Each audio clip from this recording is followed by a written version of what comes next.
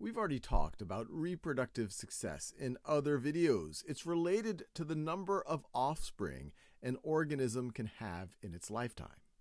And so in this video, we're going to think about strategies that plants use for reproductive success. A plant that has more surviving offspring has a higher reproductive success.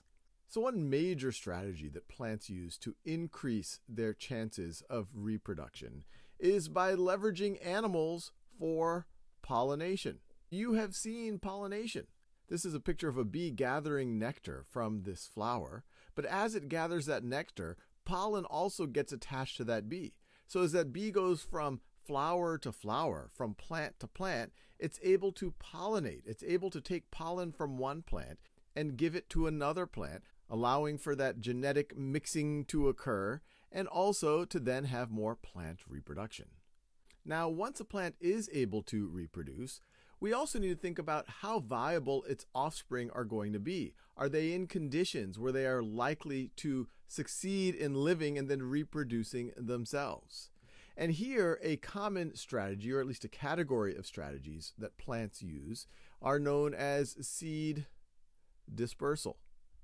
And it's really just trying to get the seeds in as many places as possible, potentially far away from the plant itself, to increase the chances that more of the seeds are going to be in places that are nutrient rich where they can survive.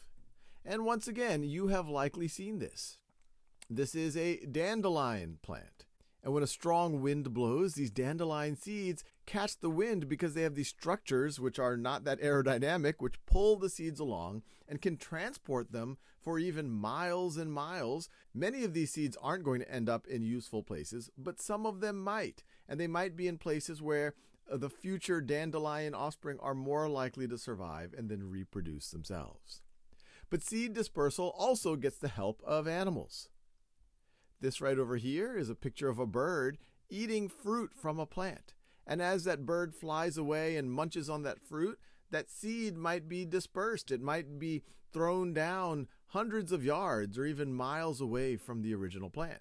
In many cases, you might eat a fruit, and I am saying you because we do this ourselves. You might eat, say, a watermelon or a papaya, and a couple of seeds go down while you ate it. And then later on, you or some other animal might poop it someplace where it might be a good place for that watermelon plant or that papaya plant to grow. So, this was just an overview of some of the strategies that plants use. But it's important to realize that throughout nature, we see this idea of reproductive success over and over again. And in animals, behaviors or strategies for reproductive success. And here we saw plants, strategies for reproductive success.